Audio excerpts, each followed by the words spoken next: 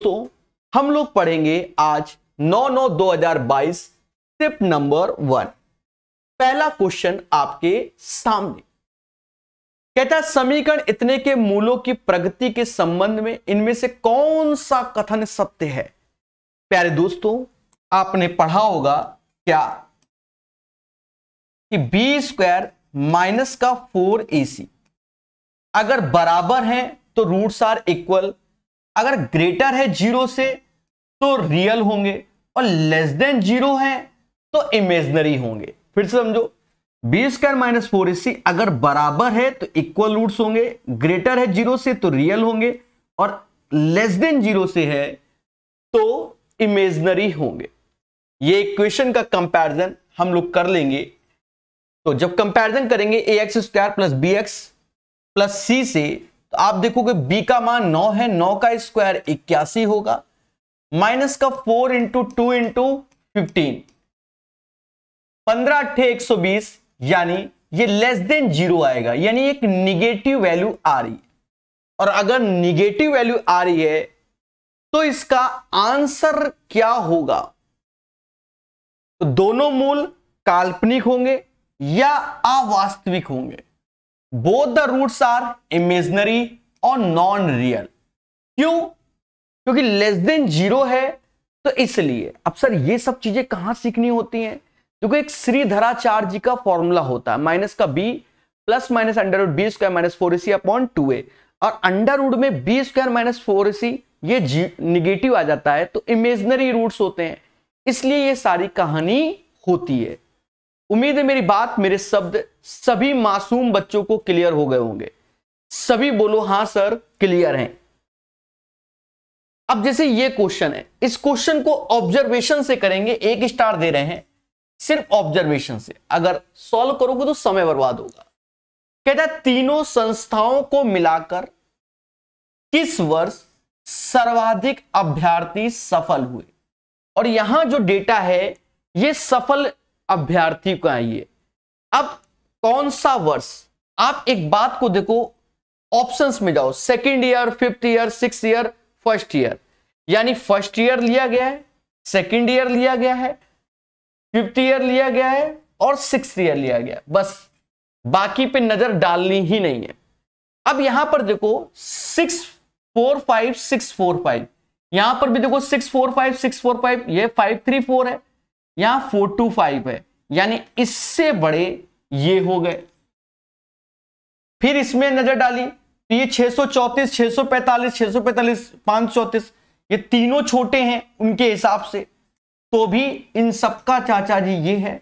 और वर्ष पाँच तो आप देख ही रहे हो बिल्कुल छोटा है in comparison of this one तो सबके चाचा जी वर्ष सिक्स हो गए। यानी the right answer of this one six year आएगा सिक्स ईयर आएगा। उम्मीद है मेरी बात मेरे शब्द सभी को समझ में आए होंगे। एक बेहतरीन, सुंदर क्वेश्चन है मेरे प्यारे दोस्तों, खुशी मिलेगी। एक बच्चा कह रहा, पचास में अड़तालीस आए हैं और एक सौ बावन। ठीक है, लंकापति रावण, बहुत अच्छी बात है, अच्छे से पढ़िए। ठीक है, चलिए। क्वेश्चन नंबर तीन।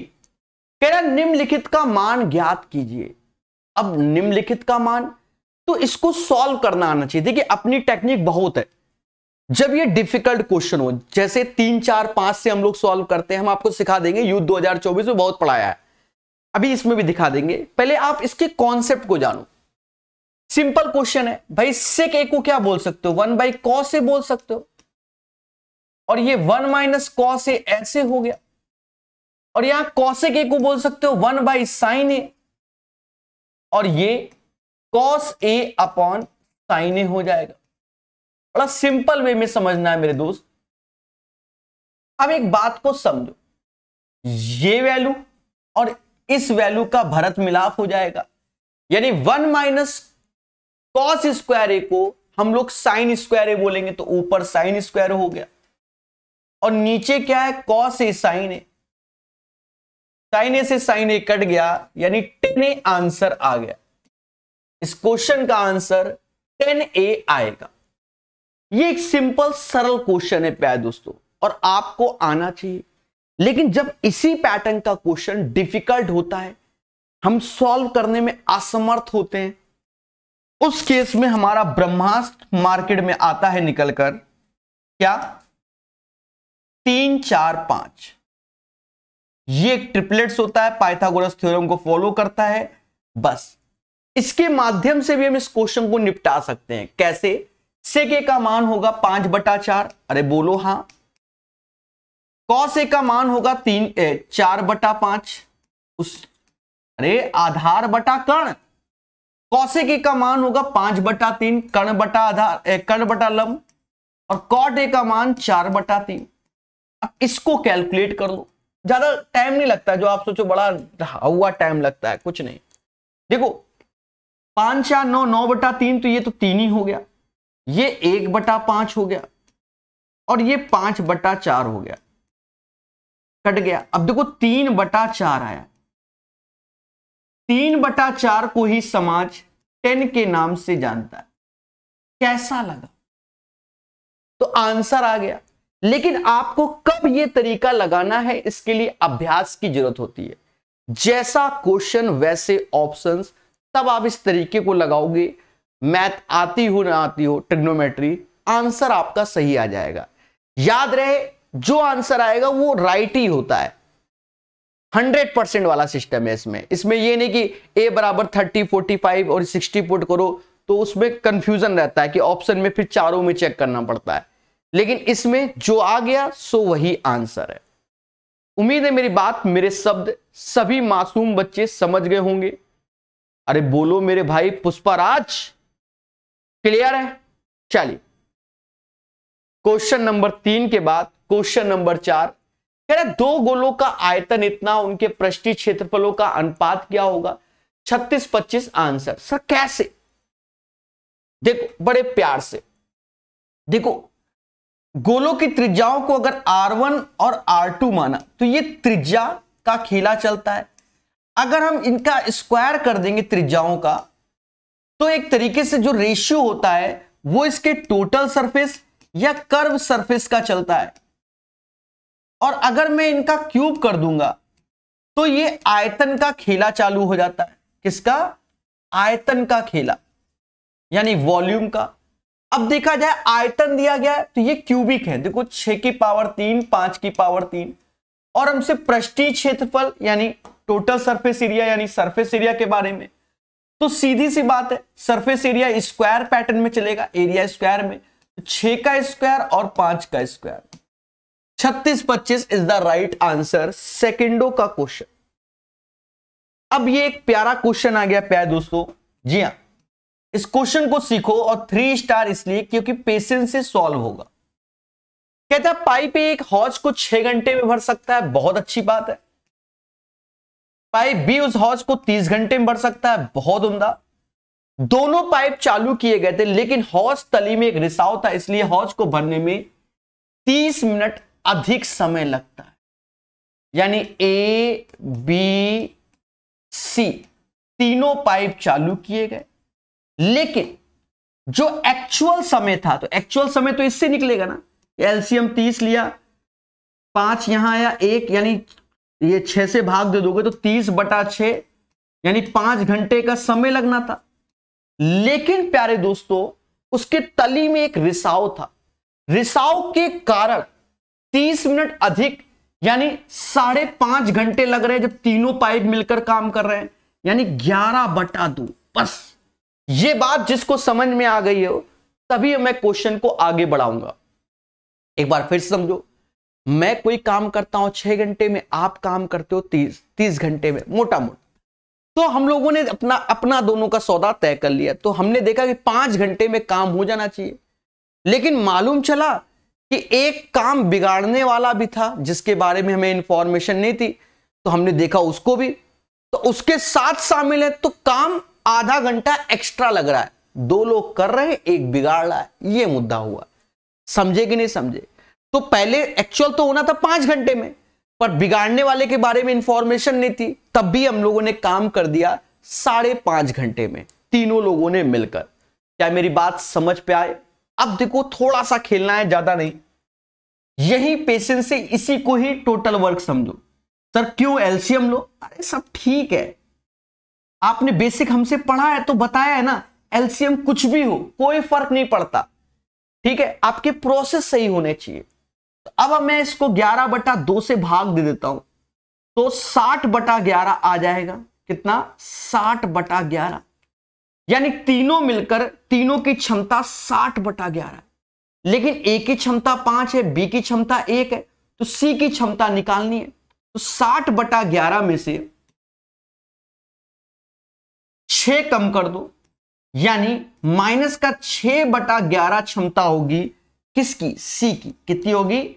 माइनस का छ बटा ग्यारह क्षमता। अब सी की जब माइनस छ बटा ग्यारह क्षमता है और काम कराना है उसको ये तीस, पूरा का पूरा तो तीस अपॉन माइनस का छ बटा ग्यारह ग्यारह से, देखो नशेबाजी छ से ये पाँच बार में गया और इसमें गुणा कर दोगे तो पचपन माइनस का। माइनस साइन ये शो करता है कि टंकी को खाली कर रहा है कितने घंटे में? पचपन घंटे में। कैसा लगा? मेरे दोस्त इसीलिए कह रहे हैं ग्रुप डी के क्वेश्चनों को सीखना है। और आपको बेनिफिट होगा। यह बात याद रखना। अगर किसी क्वेश्चन में अच्छा एक बच्चा कह रहा ग्यारह बटा दो कहाँ से आया? अरे, मेरे देवता, नशेबाजों का पूरा शुरुआत से दुई बार बताया हमने कि हम दोनों मिलकर काम कर रहे हैं। छह और तीस तीस आया। छह से भाग दिया तो पाँच घंटे में हम दोनों मिलकर काम कर लेंगे। लेकिन एक ठो बिगाड़ने वाला भी था, जिसके बारे में मालूम चला तो कह रहा, इसलिए हौज को भरने में तीस मिनट अधिक लगे। यानी लगने थे पाँच घंटे, अब तीस मिनट अधिक, तीस मिनट को आधा घंटा बोलत है। पाँच सही एक बटा दो तो उसको ग्यारह बटा दो बोलत है। कछु समझे कि नहीं समझे। देखो तो प्रॉपर लेक्चर को देखा करो, बीच में आते हो वाई दिस कोलावरी? तीसरी बार बताना पड़ गया। एक क्लास के विद्यार्थी द्वारा गणित में प्राप्त औसत अंक सत्तर है। लड़कों द्वारा प्राप्त औसत अंक, लड़कियों द्वारा प्राप्त औसत अंक से 20 परसेंट अधिक है। यदि लड़कों की संख्या, लड़कियों की संख्या का अनुपात इतना है तो लड़कियों द्वारा प्राप्त औसत अंक आपको बेसिक से करोगे, बहुत फास्ट हो जाएगा। पहले समझो, एक क्लास के विद्यार्थियों के गणित में औसत अंक सत्तर है, यानी पूरी क्लास के ओवरऑल सत्तर एंड एवरेज में अंक है। यहाँ हमसे कहता है, लड़कों द्वारा प्राप्त औसत अंक लड़कियों द्वारा प्राप्त से 20 परसेंट अधिक है। देखो 20 परसेंट का मतलब होता है एक बटा पाँच। यानी लड़कियों के अगर पाँच आ रहे हैं, यानी पाँच एक्स तो लड़कों के सिक्स एक्स आएँगे। या तो ये समझो सौ एक्स एक सौ बीस तो ratio six is to five होगा। यहाँ मैं वैल्यू ले रहा हूँ। सर वैल्यू क्यों ले रहे हो? क्योंकि आगे चल के लड़कों की और लड़कियों की संख्या का भी ratio three is to two दिया गया। तो हमें यहाँ एक्स पे डिपेंडेंट होना पड़ेगा। अब समझो कैसे करेंगे? बेसिक बिल्कुल बेसिक छत्रिक अठारह गुणा भाई ये तो ये क्वांटिटी और ये एवरेज है। गुणा कर दो छत्रिक अठारह एक्स पाँच दुना दस एक्स और ये पाँच गुणा ये साढ़े तीन सौ हो गया। तो अट्ठाईस एक्स बराबर साढ़े तीन सौ हमसे कह रहा है लड़कियों द्वारा प्राप्त औसतन। लड़कियों द्वारा प्राप्त औसतन, वो तो पाँच एक्स है। तो एक्स बराबर साढ़े तीन सौ बटा अट्ठाईस ऐसे और पाँच का गुणा और कर लो, क्योंकि पाँच चाहिए। तो चौदह से ये कटत है कि चौदह दूनी अट्ठाईस और चौदह पच्चीसा होता है तो पच्चीस पंजा एक सौ पच्चीस बटा दो साढ़े बासठ आ जाएगा। यानी जो गर्ल्स का औसत होगा, वो 62.5 आएगा। और ऐसे ही करोगे तो ही सही होगा अन्यथा खीला हो जाएगा।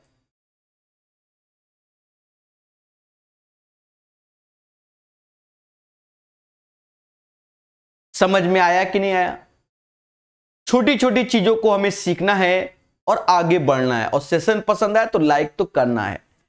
बच्चा हमेशा यही पूछता रहता है रेलवे का, क्योंकि खोया हुआ है। ठीक है, खोया हुआ है। अरे मेरे देवता, ये रेलवे के पेपर करा रहे हैं। प्रीवियस ईयर, यहाँ प्रैक्टिस हो रही है। ऐसे ऐसे क्वेश्चन आए हुए हैं मेरे देवता। ठीक है? कुछ भी हो सकता है। अब जैसे ये क्वेश्चन है। अब ये क्वेश्चन रेलवे का बच्चा देखकर ही छोड़ देगा, पर ग्रुप डी में आया हुआ है, ग्रुप डी समझी रहे। हाँ। कहता है, भैया, एक प्रतियोगी परीक्षा में प्रत्येक सही उत्तर के तीन अंक हैं। और प्रत्येक गलत उत्तर के एक अंक काटा जाता है। देख लो सिंधु ने इस परीक्षा में 80 अंक प्राप्त किए। देखो, तीन अंक मिलते हैं, माना इसने एक्स क्वेश्चन सही किए। और एक अंक काट देता है, माना वाई क्वेश्चन उसने गलत किए। तो एक्स क्वेश्चन सही तो एक्स गुड़े तीन, और वाई क्वेश्चन रॉन्ग तो वाई गुड़े वन वन नहीं, माइनस वन, क्योंकि कट रहा है। उसको अस्सी अंक मिले। यदि प्रत्येक सही उत्तर पे चार तो अगर एक्सी क्वेश्चन थे, अब प्रत्येक सही उत्तर पे चार अंक मिल रहे हैं, और प्रत्येक गलत उत्तर पे दो अंक काट ले रहा है तो वाई क्वेश्चन गलत किए, पर प्रत्येक बोला गया तो टू वाई और ऐसा करने से उसे नब्बे अंक मिले। अब हमसे यहाँ कह रहे यदि सिंधु ने सभी प्रश्नों के उत्तर दिए तो परीक्षा में प्रश्नों की संख्या क्या होगी? मेरे देशवासियों, प्रश्नों की संख्या तो एक्स प्लस वाई होगी ना?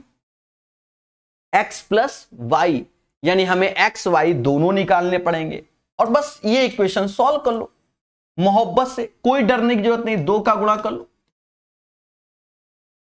घटा दो। तो ये सिक्स एक्स में चार एक्स गया तो टू एक्स आया 160 में से 90 गया 160 में से 90 गया 70 आया, यानी x बराबर 35 पहली में इक्वेशन में रख देता हूँ।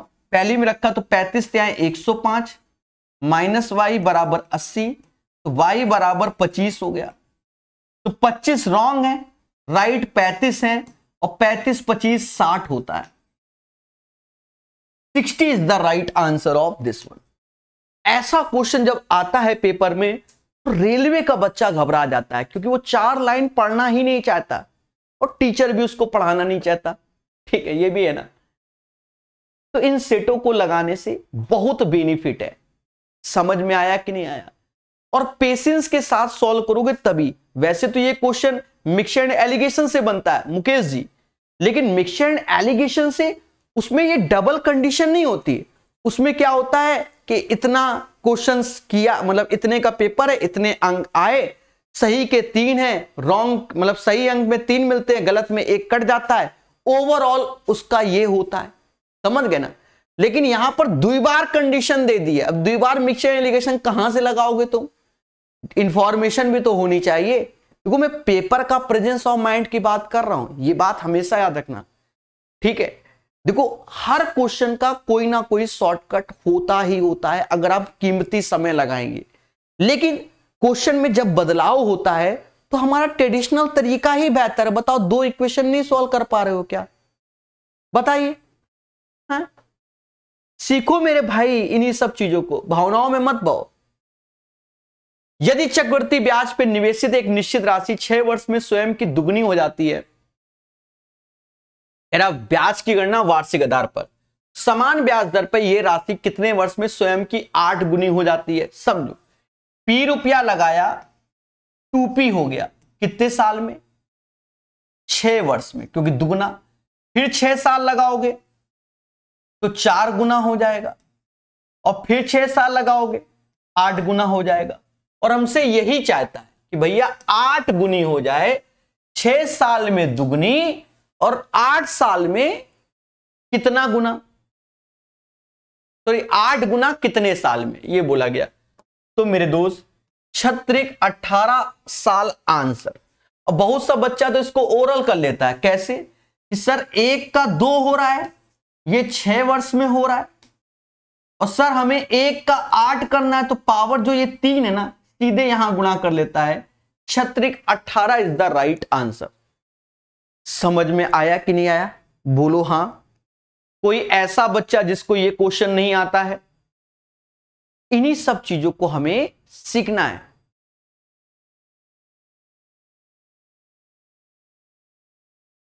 देखो, एक बच्चा कह रहा है क्या सीजीएल से टफ रहता है कि देखो, कुछ भी होता है। आजकल जो पेपर के लेबल हैं, जो मैं सेट देख रहा हूँ, जो मैं देख रहा हूँ, कोई भरोसा नहीं कौन से लेवल का पेपर आ जाए। यूपी पुलिस कांस्टेबल से ही समझ में मुझे आ गया। मैं लेटेस्ट क्यों करा रहा हूँ इस वक्त? सीएचएसएल 2024 करा दिया सीजल 2024 करा रहा हूँ, यूपी पुलिस कांस्टेबल्स दसों सेट करा दिए मैंने लेटेस्ट में। क्यों? वो इसीलिए करा रहा हूँ कि मैं भी अपडेट हो जाऊँ लेटेस्ट वर्जन को देखते हुए। समझ गए ना? कुछ भी हो सकता है कोई सेट बिल्कुल हल हुआ है और किसी सेट में ऐसा कि हवा भी नहीं आ रही है। अब ये डिपेंड करता है किस्मत कौन सी है पेपर में। हाँ डसने वाले आ रहे हैं कि आसान वाले आ रहे हैं? संख्या छत्तीस, चौवन, बहत्तर, छियानवे का एल्सियम क्या होगा? अब देखो, एक जुझारू बच्चा इसका एलसीएम लेने लग गया। एट एलसीएम निकालेंगे। फल टीचर कुछ नहीं। मेरे भाई नौ का मल्टीपल तो होना ही चाहिए। क्या ये नौ का मल्टीपल है? नहीं। आठ, छह, चौदह, ये है अठारह। सत्रह, नहीं। नहीं, मुद्दा ही खत्म। आठ सौ चौसठ इज़ द राइट आंसर भले ये एलसीएम सही हो या गलत हो, उससे मतलब नहीं है। ये नौ का मल्टीपल इकलौता एक ही है, यही आंसर होगा। समझ में आया? अब मुद्दा आता है कि सर जी, निकालना भी सिखाया करो मतलब डायरेक्ट क्यों मरवा देते हो? निकालना भी सीखो। युद्ध 2024 इसीलिए तो पढ़ाई है कि रेलवे का बच्चा एज ए फाउंडेशन सीखे कि भैया, कैसे खेलते हैं? देखो, मेरे दोस्त, सबसे बड़ी वैल्यू उठा ली। छियानवे बड़े प्यार से। छियानवे बत्तीस। बत्तीस यानी दो की पावर पाँच गुड़े तीन होता है। अब इसके अंदर भर भर के दो हैं।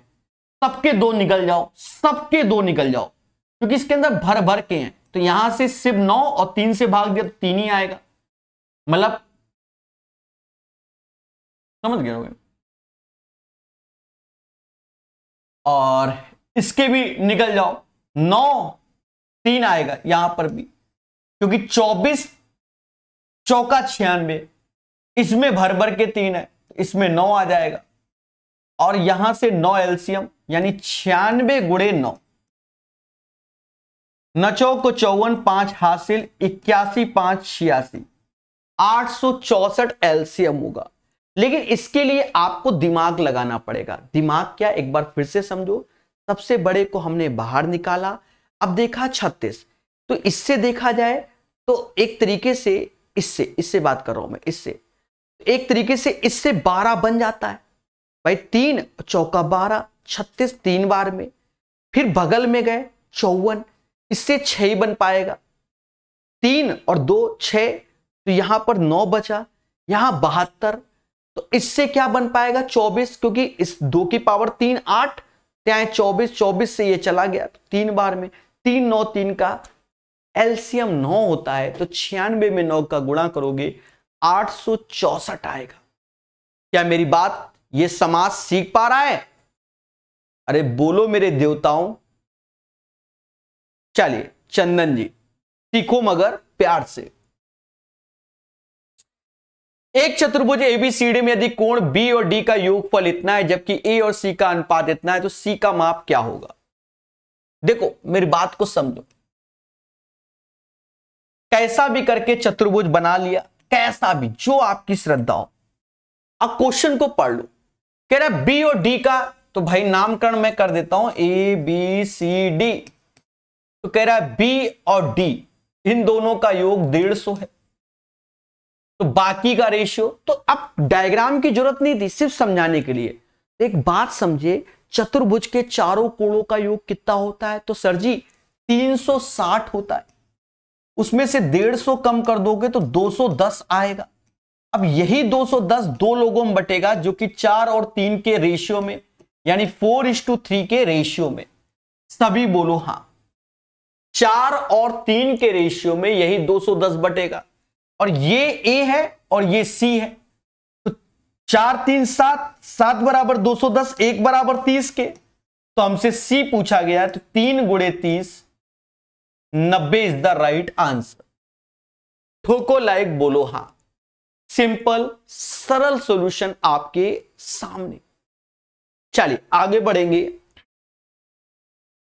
तीन संख्याओं का अनुपात इतना है, एलसीएम इतना तो एससीएफ कितना? बड़ा सिंपल है।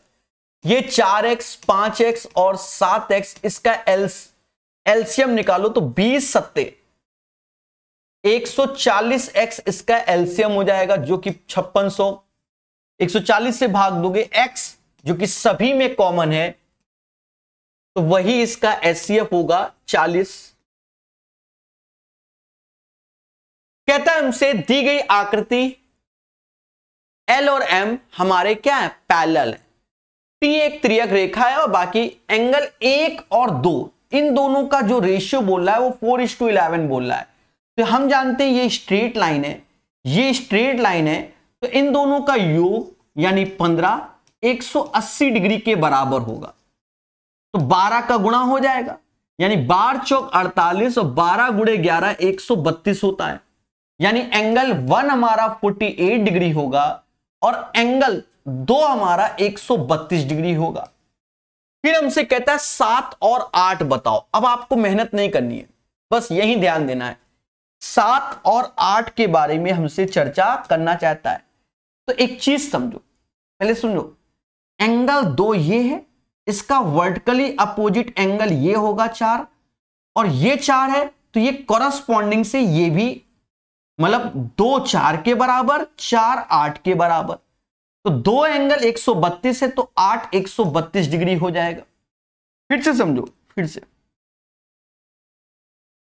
एंगल एक का वर्टिकली अपोजिट एंगल शीर्षा विमुख तीन है और संगत कोण से ये तीन है तो ये सात, तीन बराबर सात के, यानी एक बराबर तीन तीन बराबर सात, यानी ये वाला 48 डिग्री आ जाएगा।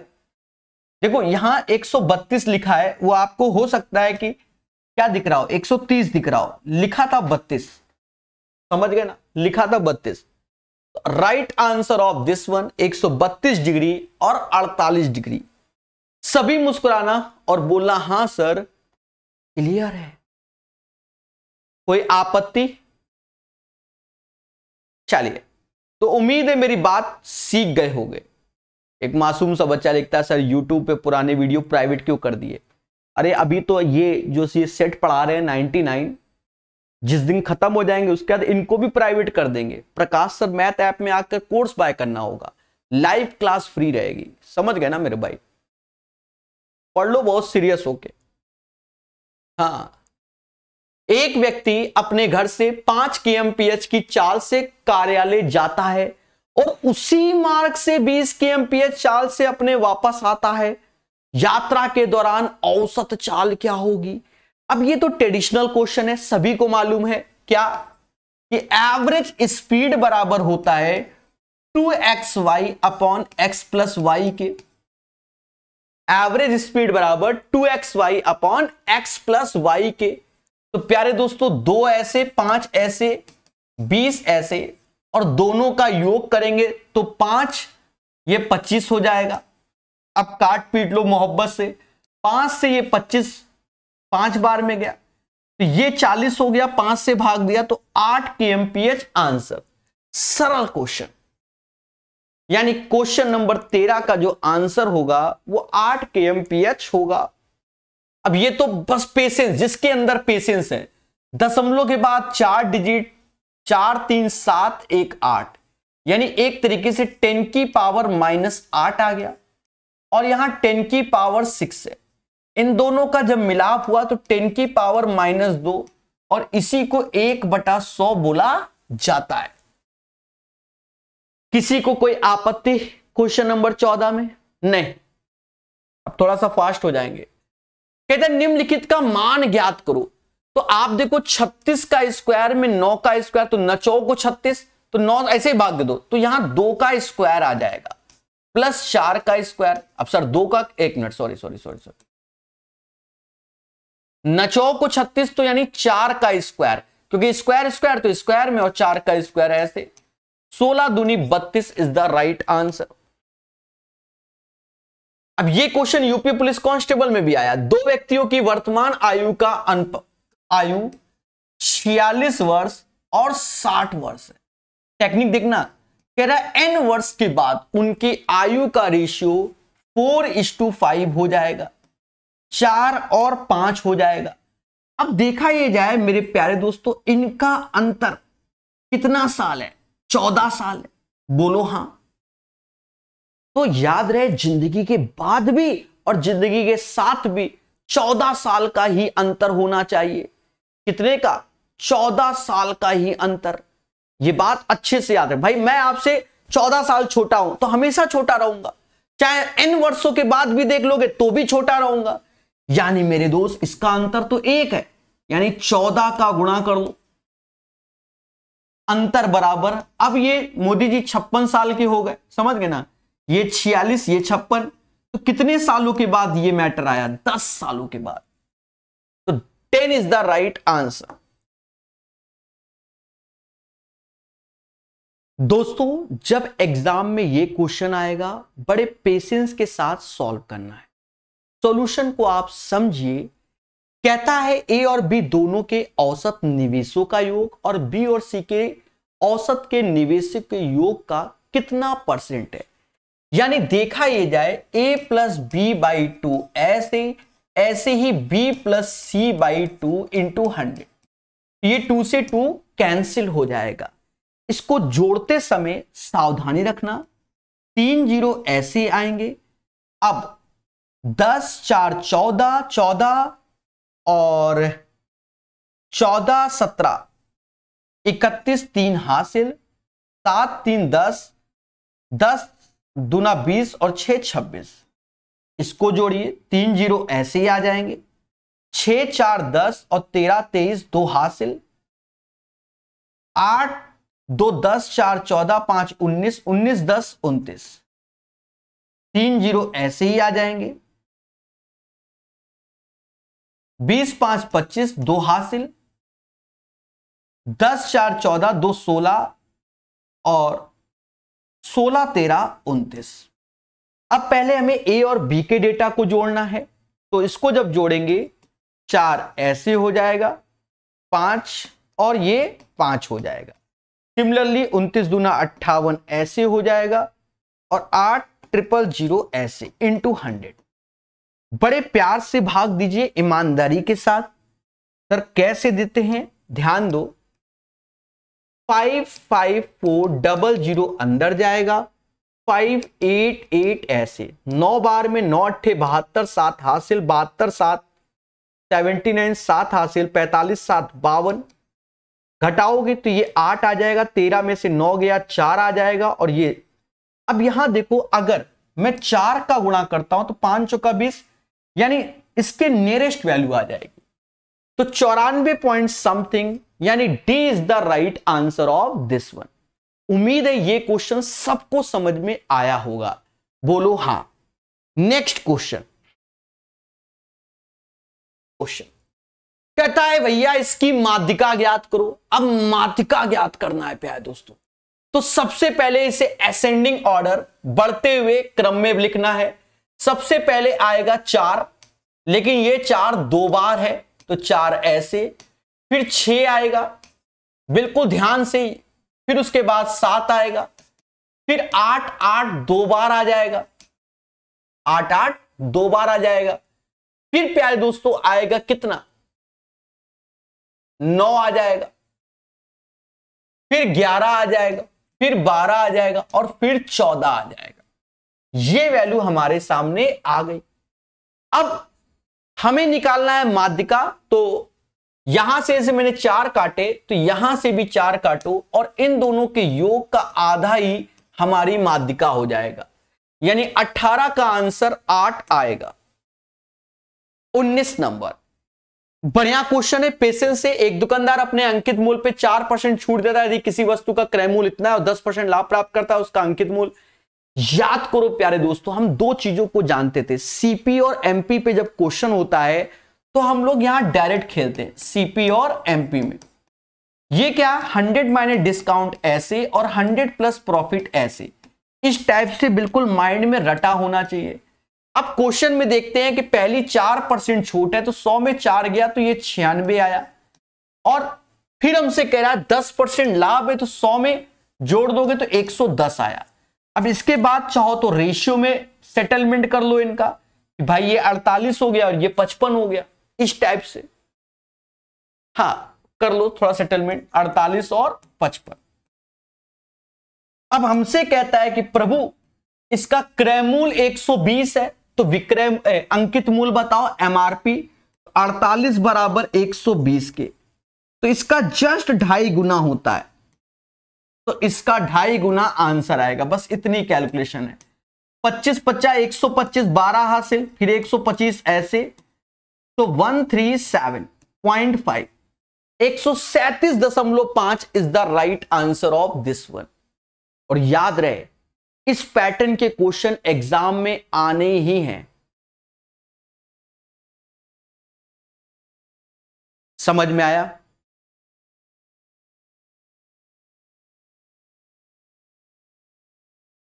चलो अक्षय, मेरे भाई मणिपुर से देख रहे हो। ठीक है। क्लियर है? 19 नंबर में कोई डाउट? और ये पैटर्न का क्वेश्चन आप विश्वास मानो।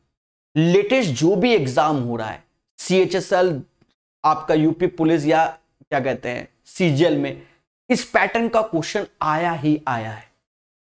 ये याद रखना, ठीक है? वेरी वेरी इंपॉर्टेंट क्वेश्चन कहता है, इसका थर्ड प्रोपोर्शनल ये तो अब सदा बार हो गया है, हर जगह आ रहा है। थर्ड प्रोपोर्शनल बताओ, थोड़ा कॉन्सेप्ट समझो, जैसे a is to b double is to मतलब ए इज़ टू बी फिर b is to c a is to b और b is to c c को हम लोग बोलते हैं थर्ड प्रोपोर्शनल क्या बोलते हैं? सी को हम लोग थर्ड प्रोपोर्शनल बोलते हैं। यह बात अच्छे से याद रखना। अब करना क्या होता है? इन दोनों का इंटू इन दोनों के इंटू के बराबर होता है। यानी b square is equal to a c के तो सी होता है थर्ड प्रोपोर्शनल यानी बी स्क्वायर अपॉन ए ये आपको डायरेक्ट याद होना चाहिए। तो अगर थर्ड प्रोपोर्शनल बोल रहा है तो यहाँ पर 1.2 का स्क्वायर कर लेंगे और डिवाइड बाय 3.6 से भाग दे देंगे। कहते हैं प्यारे दोस्तों, इससे ये तीन बार में गया और इससे ये दशमलव चार बार में गया। यानी राइट आंसर सी हो जाएगा पॉइंट फोर इसका सही आंसर समझ गए होंगे? कहता है हमसे, ए और बी की वर्तमान आयु का योग तीस वर्ष है। पाँच वर्ष बाद उनकी आयु का अनुपात थ्री टू टू होगा। कितने साल बाद? पाँच साल बाद। देख लो तो पाँच साल बाद उनकी आयु का अनुपात क्या होगा? थ्री टू टू होगा। ये पाँच साल के बाद है। और वर्तमान में इनकी आयु का योग क्या है? तीस वर्ष है।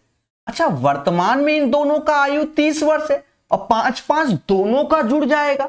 तो पाँच दूना दस जुड़ जाएगा तो ये चालीस आ जाएगा। भाई, मैं भी पाँच साल बड़ा होगा, वो भी पाँच साल बड़ा तो चालीस साल हो गया। और मेरे दोस्त, तीन दो पाँच बराबर चालीस के तो एक बराबर आठ के। कहता है हमसे ए की वर्तमान आयु ज्ञात करो। तो पहले तो ए की पाँच साल पहले की आयु तीन गुड़े आठ, यानी चौबीस साल है। और पाँच साल पहले, यानी उन्नीस बरस का था। वर्तमान में। समझ गए ना? वर्तमान में 19 वर्ष का था ए और पाँच साल के बाद 24 साल का हो जाएगा। है ना आसान क्वेश्चन ठीक है। बिल्कुल प्रॉपर वे में इस पैटर्न के क्वेश्चन आपको पढ़ाए गए हैं।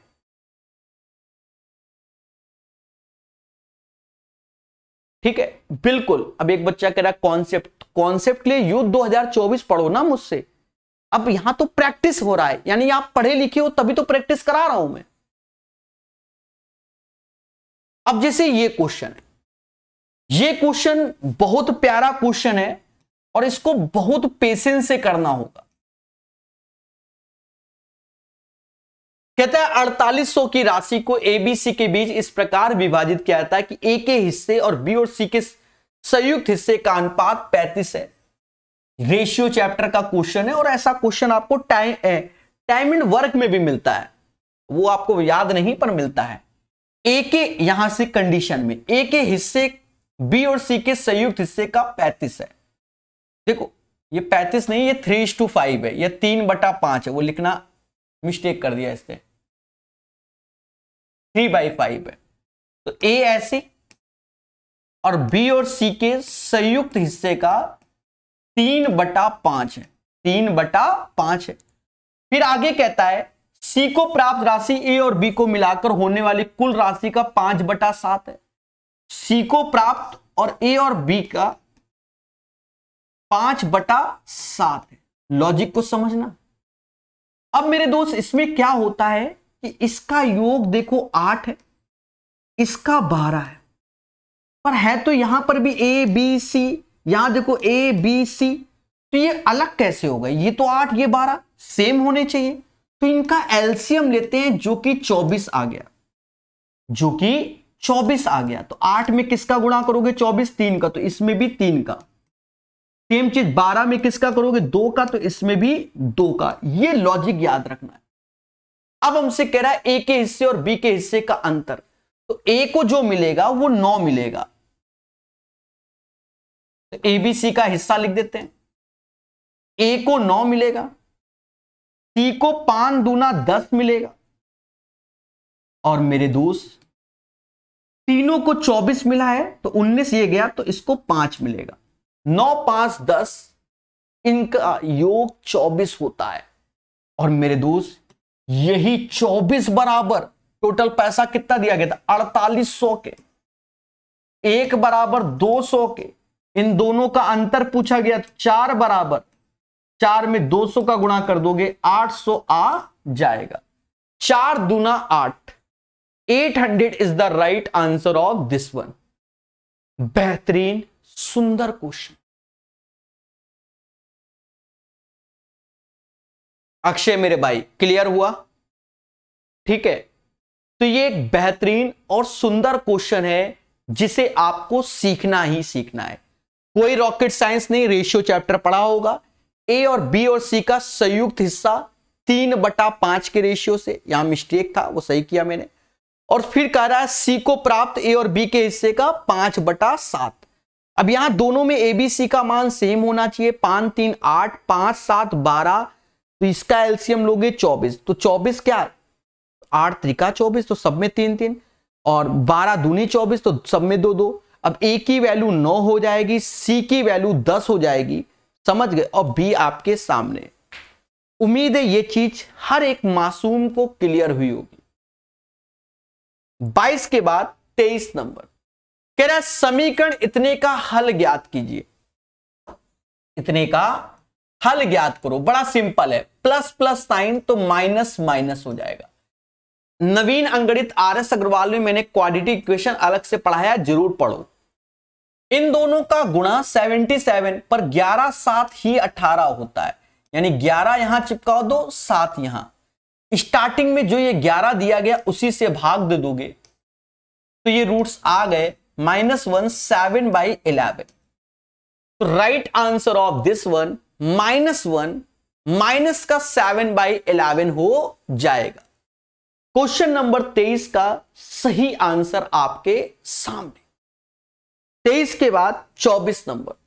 यदि एक वस्तु का क्रय मूल पैतालीस सौ है और विक्रय मूल पैंतीस सौ है तो हानि प्रतिशत ज्ञात करो। सिंपल क्वेश्चन है, दो ज़ीरो से दो ज़ीरो कट गए। पाँच से भाग दोगे, नौ बार में, पाँच से भाग दोगे, सात बार में, नौ की चीज़ सात में तो अंतर दो आया, दो बटा नौ गुड़े हंड्रेड।